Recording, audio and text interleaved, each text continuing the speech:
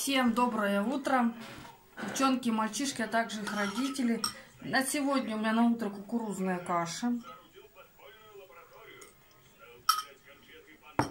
С льняным маслом. Рулетики сделала. Вчера лаваш купила по уценке. Денег-то. Зарплата-то 12 тысяч рублей. Я себе не могу позволить. Знаете, с чем я сделала? Лаваш с начинкой. Здесь авокадо, рис с яйцом, а, паштет, так, печень трески, потом лук зеленый. Я прям печень трески с маслом размяла весь туда. Огурец, зелень, творожный сыр, Санта-Бремор там, это, икра, короче, с этим, с кремом. Вкусно. Всем приятного аппетита.